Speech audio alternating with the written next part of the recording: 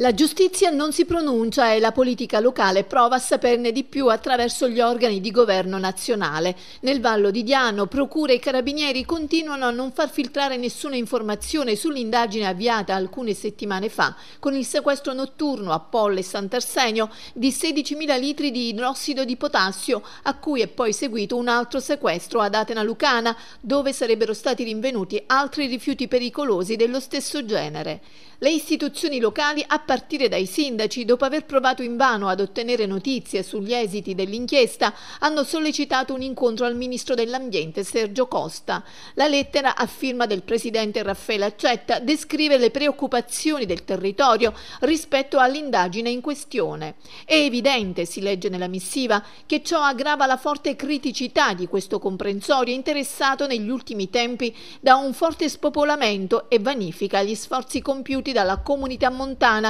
individuata dalla Regione Campania come area pilota della strategia delle aree interne ed individuata come ente capofila di 15 comuni per l'attuazione dell'accordo di programma quadro sottoscritto con il Ministro delle Infrastrutture e Trasporti.